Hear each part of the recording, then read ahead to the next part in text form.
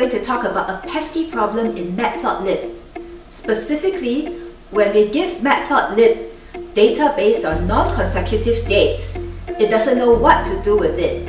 So, we'll get a user-unfriendly x-axis in the resulting chart.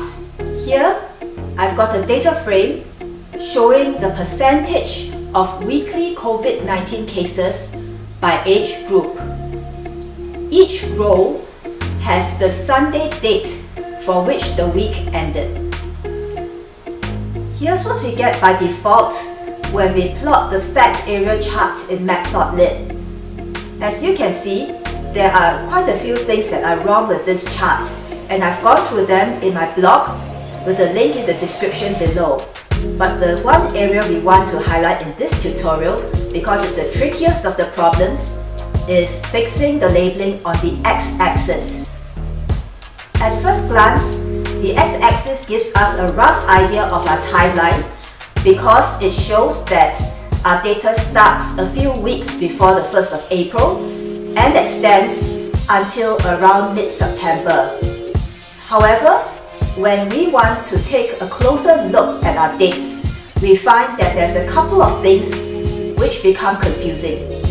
Firstly, we don't know when our time frame actually starts there are about 4 tick marks before we see April. So we think that March should appear at the beginning, but it doesn't. Secondly, the spaces between the different months is uneven. Some have 4 tick marks between them and some have 5. While we know that months have slightly different lengths, this is still confusing for us. So how do we fix this? Let's take a look at what's under the hood in Matplotlib. When we pull all the tick labels, both major and minor, for the x-axis, we see that all the month names are bunched together. This means that the tick marks are not in order. Separating the major and minor ticks, we see that indeed all months are major tick marks and that Matplotlib has not assigned any labels to the minor ticks. Furthermore, Matplotlib also has not given any labels to the first and last major tick mark. Why is it tricky to fix this? Well, here's a screenshot of the Matplotlib documentation for the methods to retrieve and to set the X tick labels of a chart. Unsurprisingly, they are named Get Xtick labels and Set Xtick labels respectively.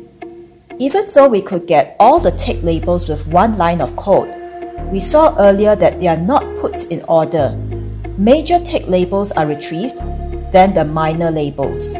Furthermore, we need to split the major and minor tick labels when reassigning new labels because we only have two options for set X tick labels minor equals to true or minor equals to false.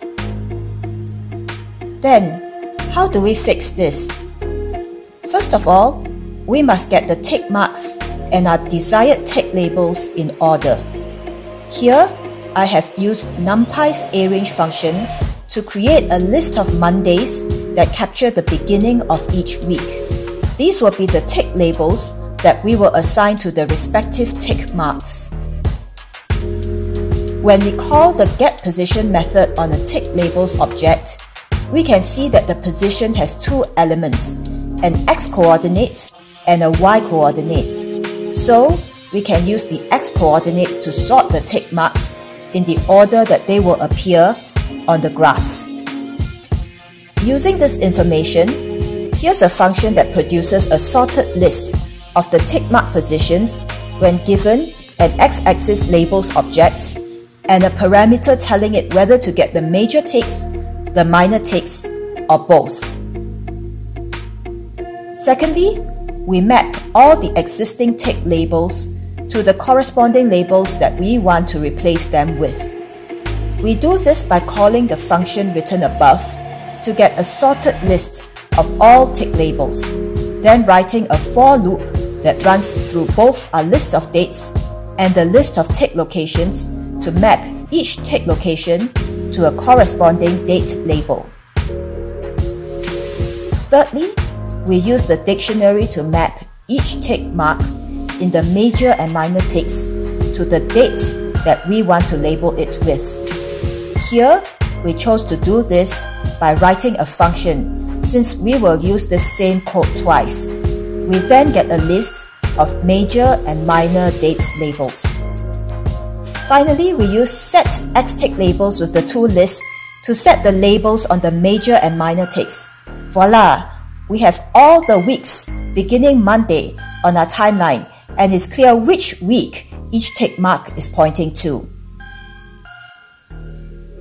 In short, you can edit the labels in Matplotlib using these four steps. Number one, create sorted lists of the existing tick positions and your desired labels. Number two, map the two lists together by creating a dictionary. Number three, create lists of desired major and minor tick labels by looking them up using your dictionary. Number four, Use set X xtick labels twice to set up the major and minor labels.